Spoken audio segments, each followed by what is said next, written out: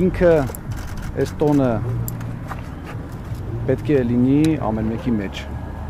անկախ նայից մենք ինչպես ենք նշում, անկախ նայից ինչ շուկով ենք նշում, հա, իսկ ամեն մեկը պետք է զգա իր քաղաքի համար, իր քաղաքի տոնը զգա իր մեջ, ամեն մեկը պետք է զգա, որ ինքը այդ քաղաքի մասնիկն է եւ վերջապես մենք պետք է իմանանք, որ Երևանը դա հենց մենք ենք։ Երևանը դա հենց երևանցիներն են, որոնք ապրում են այս պահին Երևանում եւ ստեղծում են Երևանը։ Երևանը չեն ստեղծում շենքերը, Երևանը չեն ստեղծում փողոցները։ Իհարկե դրանք էլ շատ կարևոր մաս են,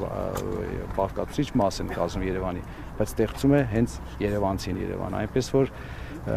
ես ուզում եմ որ այսօր մեր բոլոր երևանցիները լինեն ուրախ, լինեն շատ տոնական, լինեն մեծ հույսերով։ Ես անձամբ շատ մեծ հույսերով եմ, որովհետև մենք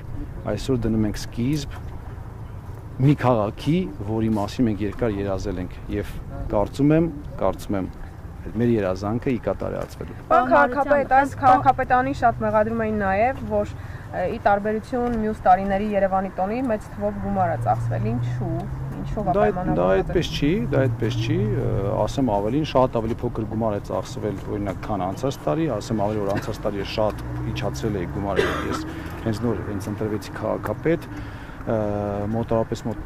եթե չեմ սխալվում, արդեն մոտ 600 միլիոն դրամի, հա, խնայողություն արեցի տոնի հետ կապված անցած տարվա եւ նույնպես մեր շուկով նշեցինք, սա շատ կարեւոր է, այսինքն խնայողությունը երբեք չի կարելի որակի հաշվին անել, խնայողությունը լինի, այսինքն մաքսիմալ լավ որակ ստանալ մաքսիմալ քիչ գումարով։ Նույնը արել ենք այս տարի, ասեմ ավելին, որ մենք հավատարիմ ենք մեր խոստմանը, որ մենք ապա կենտրոնացնում ենք Երևան քաղաքը, այսինքն եթե առաջ միշտ կենտրոն վարչական շրջանում էր տեղի ունենում բոլոր հանդիսությունները, բոլոր ծրագրերը, ապա այս տարի